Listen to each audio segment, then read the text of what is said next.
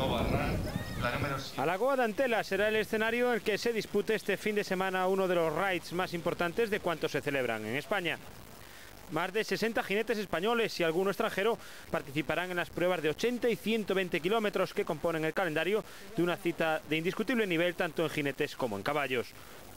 Félix Lorente será la mejor baza de los jinetes urensanos para hacer algo importante en una prueba que tiene como mejor aval el apoyo publicitario de una de las cuadras más importantes del mundo, la Qatarí Al Sahani Stad. La andaina solidaria de la Cruz Roja llegó a su sexta edición en una prueba que sirva además como promoción al sorteo del oro. La andaina transcurrió por la ruta del Castro de Santomé. En total algo más de 8 kilómetros y medio entre la sede de Cruz Roja y el Castro de Santomé, con un recorrido de ida y vuelta.